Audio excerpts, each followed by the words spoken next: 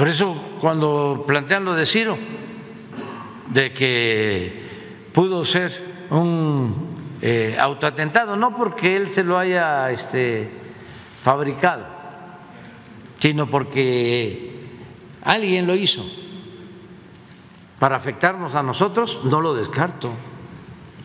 Y si así fuera, ¿cuál será la actitud que tomará el gobierno con Ciro Lo vamos a denunciar si tenemos las pruebas.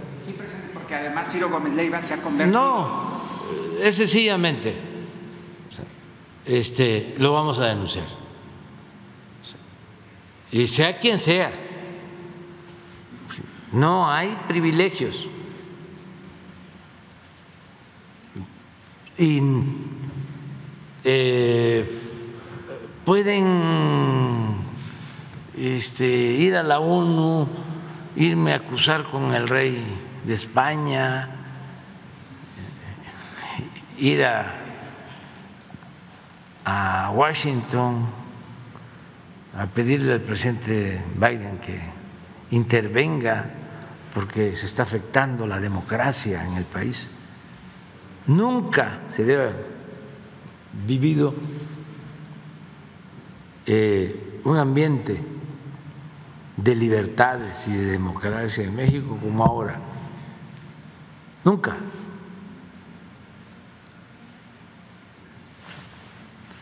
Antes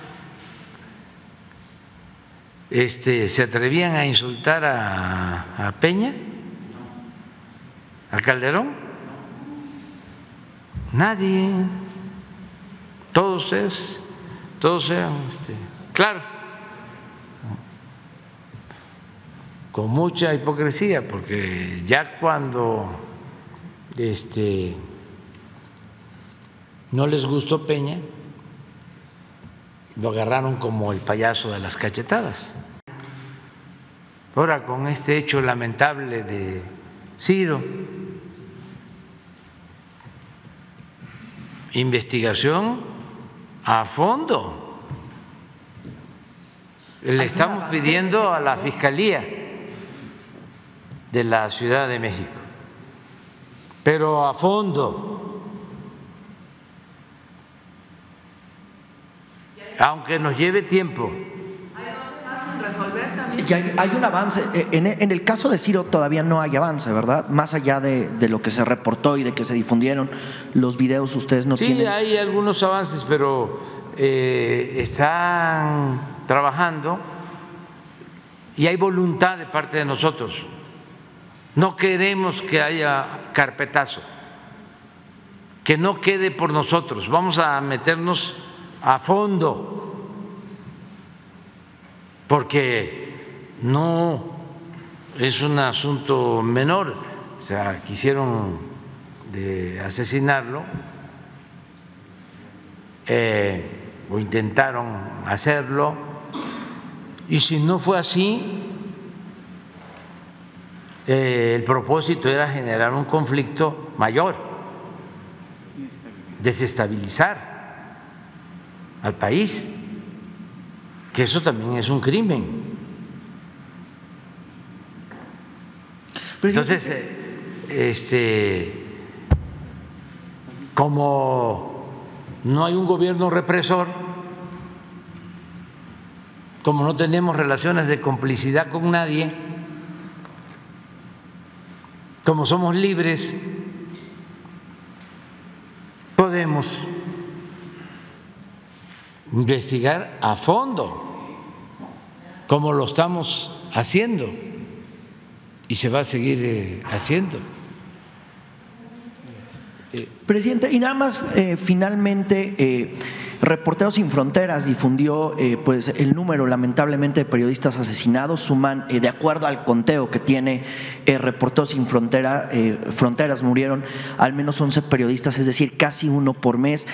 Parece que el principal, lo, lo que ocurre o lo que motiva, pues es el alto grado de impunidad que hay en el país, porque alguien puede llegar fácilmente a matar a un periodista y a cualquier ciudadano. Parece que No, no, ya no es así. no, eso era en el gobierno anterior y en el gobierno de Calderón.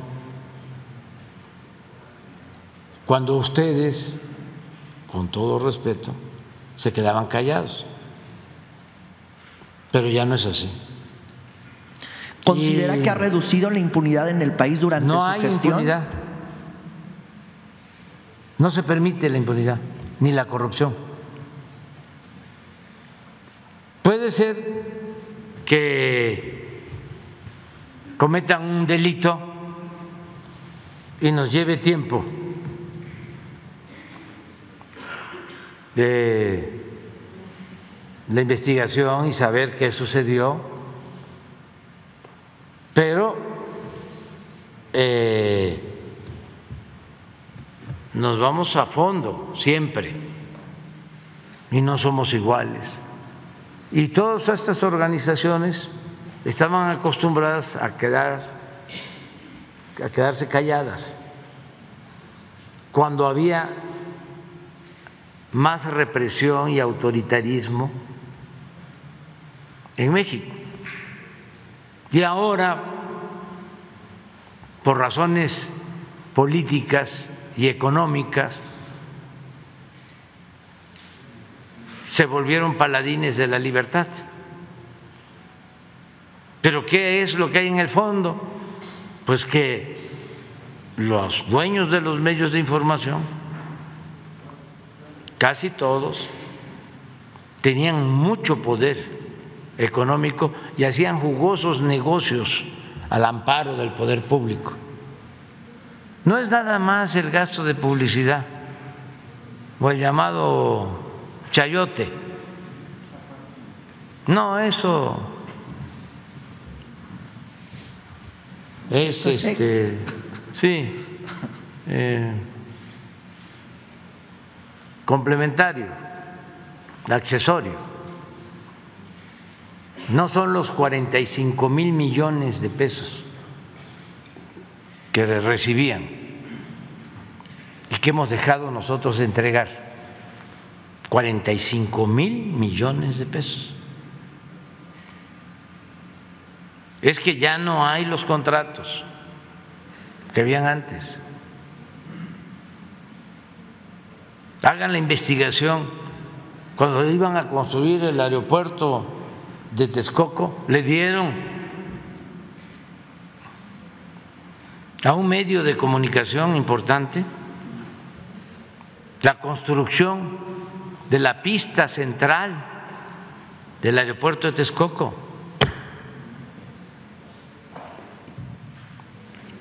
Los dueños de los periódicos perforaban pozos, construían gasoductos, construían hospitales, construían aeropuertos, construían carreteras, construían y le cobraban al gobierno por eh, la operación de reclusorios. Estaban metidos en todo, en todo. Entonces están muy molestos. Pero no solo ellos, toda esa minoría rapaz que se dedicaba a saquear, a robar. Y el pueblo no contaba. Entonces, como hubo un cambio, de verdad, hay mucha molestia. Pero no es nada personal. Es que pues ellos tenían tomado el gobierno, el gobierno era un comité al servicio de una minoría y ya no es así. Entonces están muy molestos. Y a todos les consta, a ustedes, desde que llegamos y empezamos a llevar a cabo los cambios,